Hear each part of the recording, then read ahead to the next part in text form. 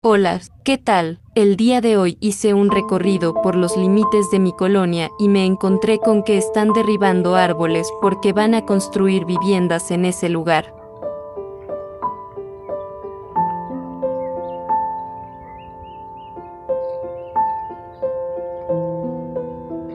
Muy pronto este pequeño bosque, que aún se puede observar, va a desaparecer.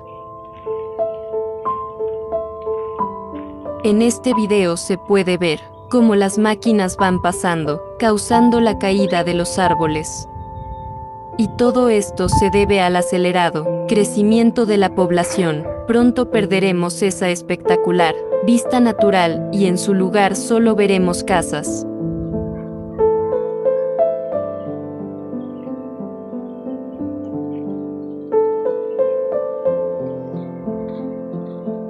Los animales no tendrán sombra ni un lugar para poder comer y correr libremente,